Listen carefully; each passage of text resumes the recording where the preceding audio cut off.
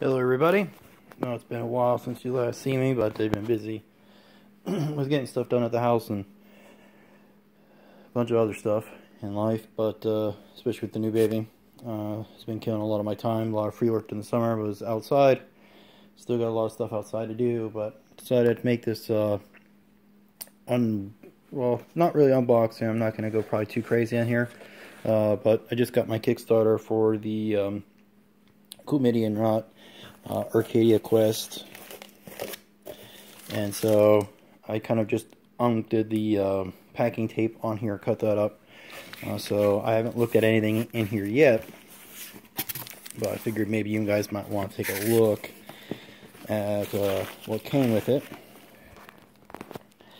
So start with uh, this box here. I'll put it on top of that box and pop it on the couch. Alright.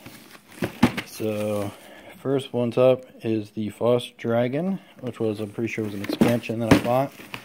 Uh, so this should be what the dragon looks like in comparison to the heroes in size. There's the cards. I guess that's going to be the tiles and any of the other knickknack stuff that came with it. Uh, I might do a video later uh, with the stuff opened up and the uh, figures themselves. So here is the Arcadia Quest Fire Dragon. Once again, there's the uh, Fire Dragon in comparison. It's more serpent-like. There's the cards, tiles, and other tokens that I guess are needed with that expansion.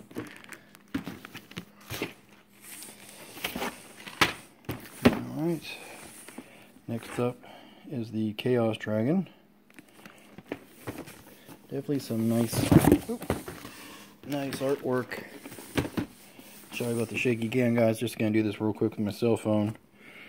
So, that's uh, what the Chaos Dragon looks like in comparison to the hero cards, tokens, and tiles that come with him. Like I said, I get some requests to open these bad boys up and show you what they look like. I can do that.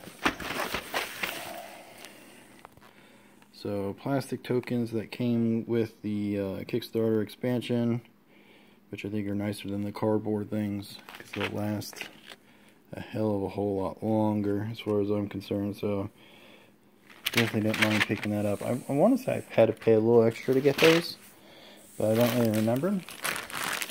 Here's the uh, tokens for the expansion. They're all in plastic. Uh, there is the Inferno Guild Dice. Uh, let's see, what is this here?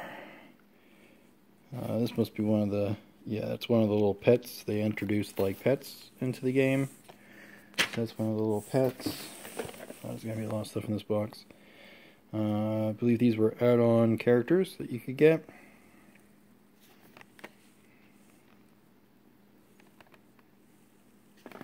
There's the guy and there's the female, little like little devil people. Here's the two dwarves that you can get.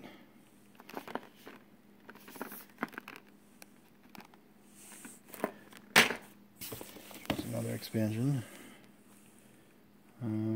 If this was an expansion person or not.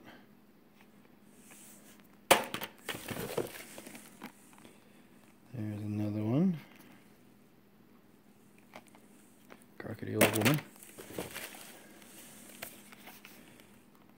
I think these came with the uh, thing from Unlock, so I don't remember purchasing uh, those particular last couple. I remember the uh, dwarf and the demon people. That's about it. Alright, so here is the full-blown Pets expansion. Here, I decided to grab with that Kickstarter. So there you go, there's the Inferno box required with the normal Arcadia. Comes with uh, three double-sided tiles, uh, campaign sheet, campaign book, two hero cards, 20 monster cards, 20 upgrade cards, 10 quest cards, 10 pet dashboards, uh, let's see, pet color bases, uh, and then 24 highly detailed plastic miniatures. And I take it the two gray ones up here are probably the heroes.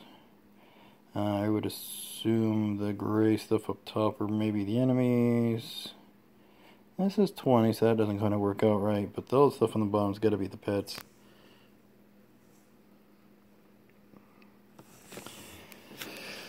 Some of those figures look pretty cool already, from what I can see in the box. Alright, so here's the next dragon set. That's the Poison Dragon. Uh, there he is in comparison to the miniatures. He's a little more hunched over, like he's about ready to play some football. Um, American football, I guess I should say. Uh, there's more tiles and tokens. And let's see. This is the Whole Lot of Lava set, which I think was an expansion to the Kickstarter from Unlocks.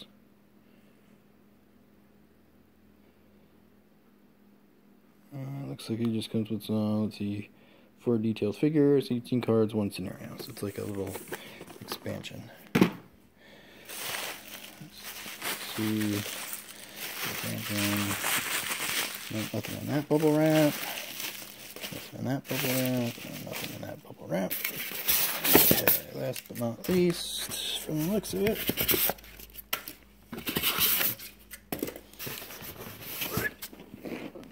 excuse them. So this is the hill of a box. It kind of looks like Skeletor. And the one from Power Rangers. So this is the back. So that shows us, uh -huh, look like Jon Snow. Let's see. Anybody else we can look at that looks like a complete ripoff of somebody else? Leonidas. Hmm.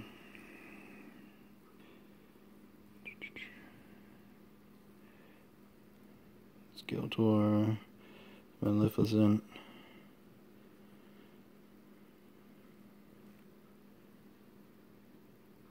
Course, there might be other ones I'm not seeing here. Looks like it comes with some pets. Hey, look, Gizmo.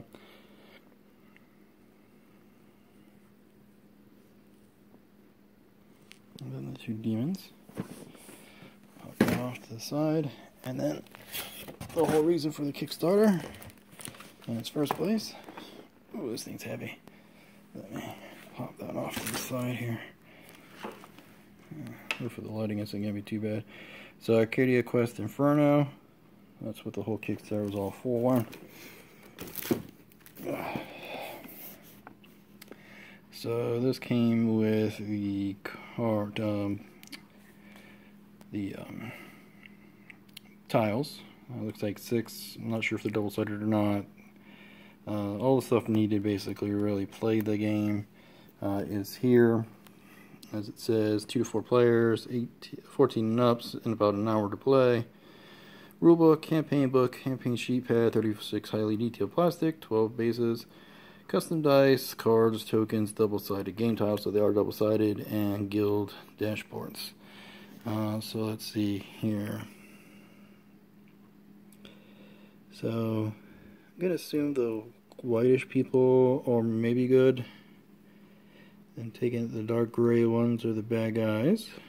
And maybe the top are some more heroes they added into the game. Not 100% sure until I open this bad boy up.